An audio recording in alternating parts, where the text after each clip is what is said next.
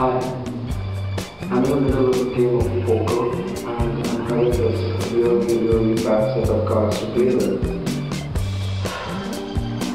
The only thing I will achieve when I'm playing card games, I'll show you cards.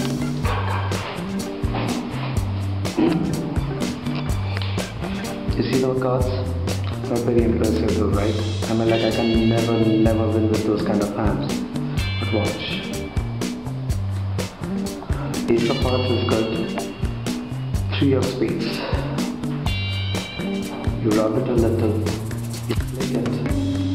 It changes. Five of Diamonds. Same thing. Flick it. Changes. Eight of Clubs. That's it. That's a winning hand for me. Taking a lot of cash home today.